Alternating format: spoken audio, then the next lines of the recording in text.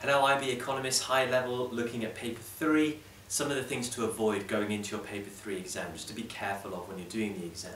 These are very common mistakes. Number one is the most common for sure. Taking for granted these 2 and 4 markers, being complacent in them, and not writing the detail required to get into that higher band, to get the maximum marks. By far the biggest mistake. Watch my video on how to answer these written 2 and 4 mark questions for you to make sure you don't fall into that trap. Max detail. Uh, a lack of that can cost you badly. Answers not to 2DP, bad mistake. It's written on the front cover. You've got to make sure all your answers, when there are long answers, are to two decimal places. That's important. Um, forgetting your currencies, your units, your percentages, not seeing that um, the diagrams or the tables are in thousands or hundreds of thousands and then your answer is therefore scaled wrong. Common mistakes. Just take an extra second to make sure that when you finish your answer, it's clear and it's correct in terms of the units, in terms of the currency, all that is there. Picking the wrong question is another big mistake, do you know what? A lot of students, that five minutes reading time in a paper three is a long time. Very, very useful time for you to go through every part of the question so that you pick the right two questions. But so many students often see like the first page is something they like, they find easy, they then just go for it, not seeing what else is there.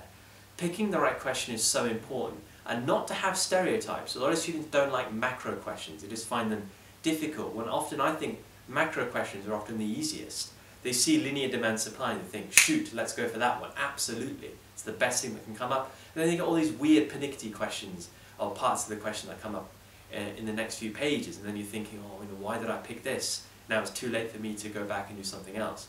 So taking your time in the five minutes reading time, getting the right question where you can answer every part of that question and get full marks. That's so important. Don't regret your choice later. So important.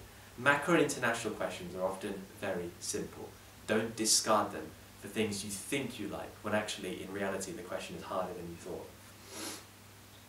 Number five, not knowing your key definitions in theory. Oh my god.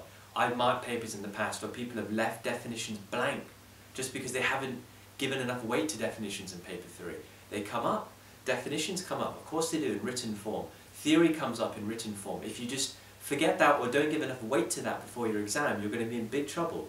Now your paper 3 is going to be merged between your paper 1 and paper 2 uh, in your exam period. So you should know all your theory and definitions.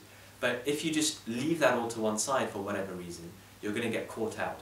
Don't be that student who forgets to learn or doesn't learn all their key definitions in theory or take shortcuts for the paper 3. It's not all calculations, you'll have to write and learn definitions too. Right, so don't be that student that falls into this trap.